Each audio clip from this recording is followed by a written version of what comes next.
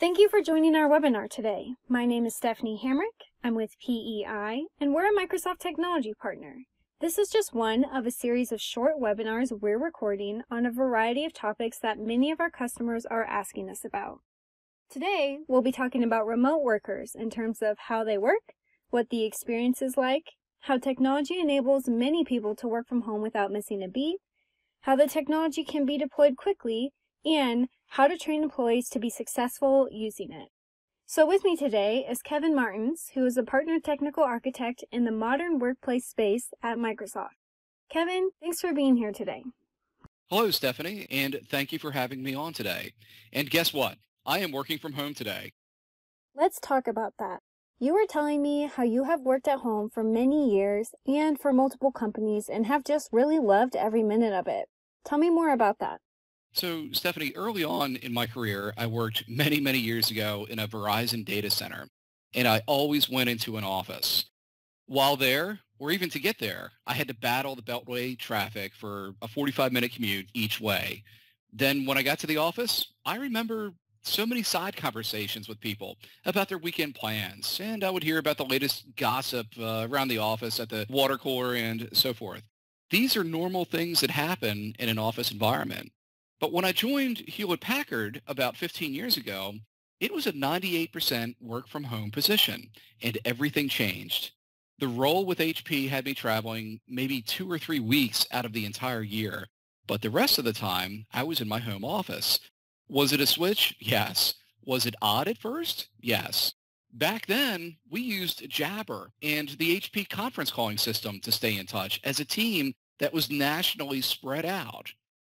I then started with Microsoft about nine years ago in another home office-based role and have seen the remote collaboration capabilities grow quite a bit over that time.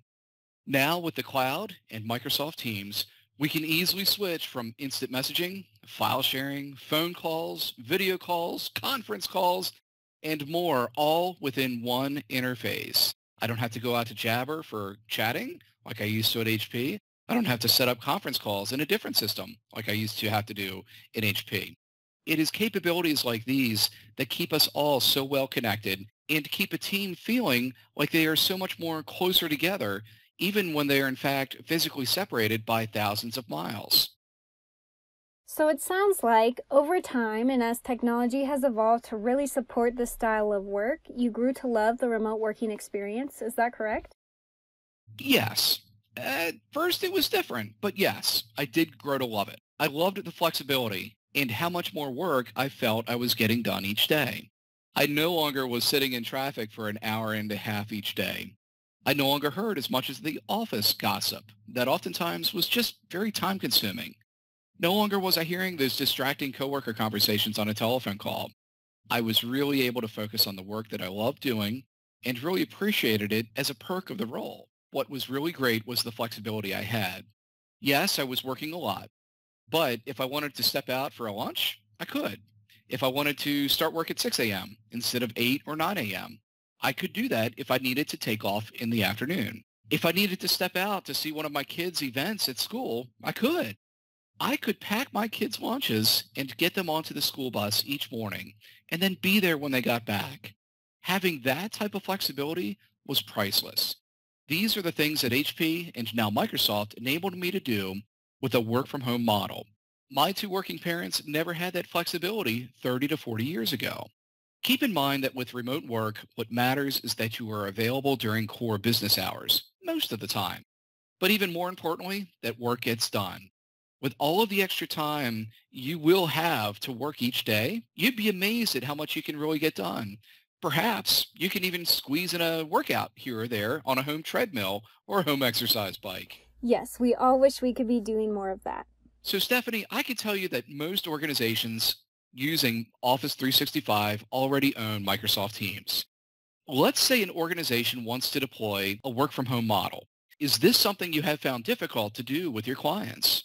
This is a great question, Kevin. It's not difficult at all. And what is truly great for organizations using Office 365 is that Microsoft Teams is already enabled and deployed.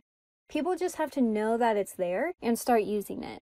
And this is where having a partner like PEI can be instrumental to ensuring your organization has that smooth transition that we're looking for. And this includes one essential piece that many business owners forget driving user adoption through effective training.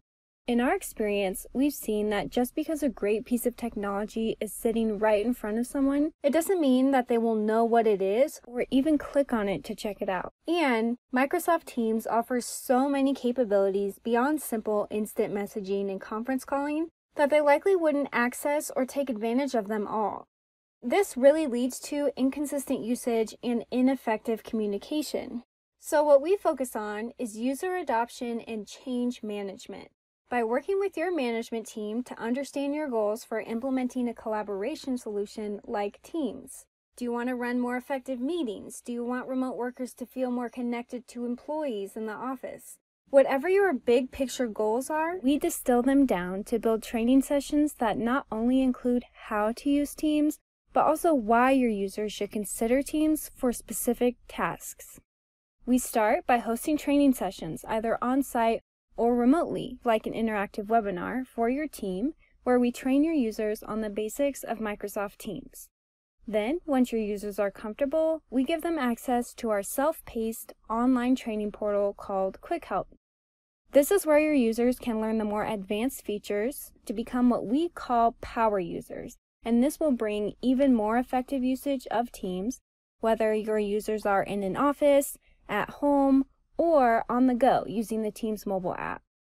Throughout this process, we'll monitor usage data with Microsoft Graph to identify increases in Microsoft Teams usage. We want to make sure everyone in your organization is actively using Microsoft Teams every day and really enabling a full collaborative environment for everyone to use. While working from home is truly a great experience, what about security? You have to think about are instant messages secured? Are voice calls encrypted? Are file transfers safe? And is all of this compliant with industry regulations? So Stephanie, are your customers concerned and asking these types of questions about collaboration products they're looking at? Yeah, Kevin, we do sometimes get concerns like this, but Microsoft Teams is the most secure and industry compliant collaboration application available on the market. All communications are encrypted by default, whether in transit or at rest. This encryption is always on, which means nobody can turn it off. On top of this, the Microsoft Cloud holds over 100 industry compliance certifications, more than any other cloud hosting company.